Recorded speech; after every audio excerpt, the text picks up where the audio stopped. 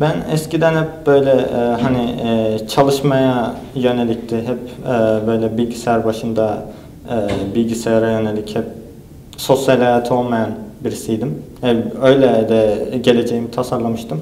Ama artık insanlarla konuşmanın bir de başka uluslarla da iletişime geçtikten sonra artık e, bilgisayardan, teknolojiden yani e, sosyal oldum. Daha sosyal oldum. Bir de e, büyük şehirlerde hep böyle hep büyük şehir arzusundaydım. Yani küçük şehirlerde yaşayamazdım. Öyle düşünüyordum. Oraya gittikten sonra küçük şehrin bir avantaj olduğunu öğrendim. O yüzden artık gelecekte büyük şehirlerle birlikte küçük şehirleri, küçük yerlere de gitsem artık fark etmez benim için.